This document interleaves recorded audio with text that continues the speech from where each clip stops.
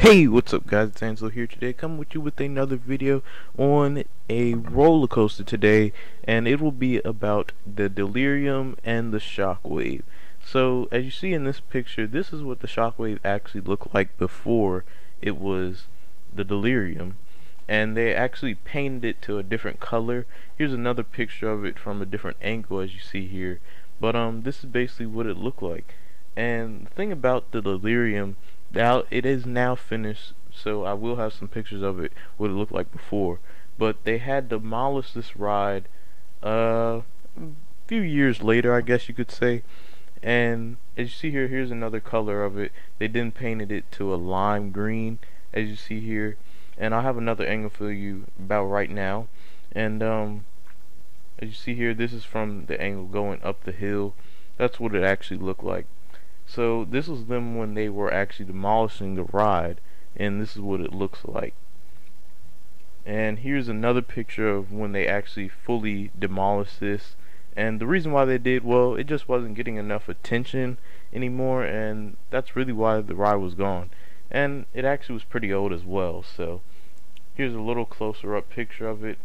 And as you see here, it actually looks kind of rusted and you can definitely tell the paint was pretty old. So uh, you'll have the new picture of what the delirium looks like right now.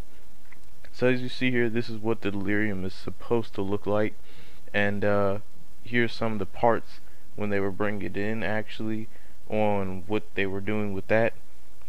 So in another picture though, I'll be showing you basically them actually bringing up the motor, and the motor is 900 pounds. So uh, it was pretty heavy motor. The crane it took a good, I guess, hour, you could say, to actually put that crane on the um, top, because the way the ride works is it's like a pendulum, and as you see here on the crane, um, when it was adding the motor, the pendulum was to be added next, as you see here, and the reason why that was was because it's a swinging type ride, kind of like the Berserker.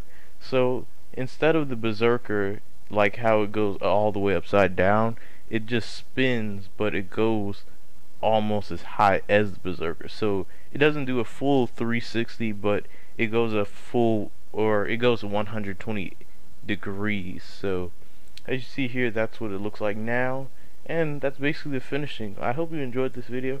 Remember to give it a like comment and subscribe to the channel for more content and I'll see you in the next video and don't forget to follow me on Instagram at Angelo.Savage peace